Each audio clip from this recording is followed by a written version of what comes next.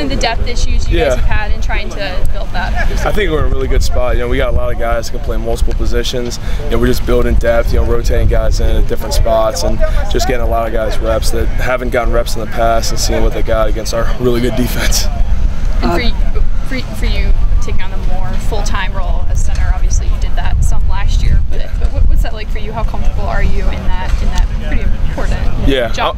I'm, I'm really comfortable in it. Like like you said, I got some uh, got a lot of reps last year at it. You know, so it's just moving in, taking on a bigger leadership role too. That's the thing, because the center and the quarterback got to be on the same page, and you know, just helping get everyone on the same page. The offensive line is huge, but I really like it. Uh, a lot of the guys that have switched from defensive line to offensive line have been pretty versatile. They've played offensive line in the past uh, more so. Has it been? E- have you seen that it's been easier uh, the transition as far as chemistry wise? Yeah, Breon and Austin fit right in. I mean, they're doing a great job picking up the playbook pretty quickly. I mean, they've both adjusted really well. Like Austin transitioned in the spring and like that, he was doing really well. Breon just the other day, and you know, he, he's really adjusting well. And I really like seeing Breon next to me and not across from me.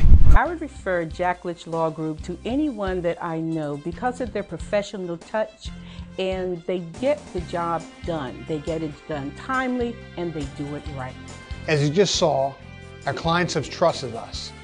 We need to reward that trust, and we have, with great results and great service. So call the big dogs right now. Don't wait. Find us online at bigdogssmallfirm.com. about on the left hand side? I mean, obviously you got Sean Christie, who's you know, experienced guy, been there all the time. Then you got you know Gaddy, or, excuse me, um, Duncan next to him. I mean, so you got a really experienced guy, a really inexperienced guy. How's that kind of worked on that left side? Yeah, I mean, having Sean next to Jalen, I think is great because Sean can just really help him out. You know, just learning defense. Sean's played a lot of football, and Jalen really hasn't yet. So just helping Jalen transition into a much larger role than he was last year. Sean's doing a great job. And then on that right side, you got the DeMatha guys. You know, Yeah. look like they've been a little nicked up so far, but you know, what have you seen from those guys? Yeah, I mean, you can tell they played in high school together. Those guys have great chemistry. Uh, they get along really well. They just they don't even have to say stuff, and they know exactly what uh, each other are going to do. What's, the most, what's the most important thing for you when, when you're adding new quarterbacks into the fold as, as the center? Does do you adjust it all to their preferences, or is it you just Me. completely the same? My number one job is to get the ball back there so we can catch it. You know, it really doesn't matter who the quarterback is. You know, I just we just want to play ball, but we want to have a guy who's going to give us a great chance to win. Um, what are you looking for going into this week's scrimmage uh, coming out of last week?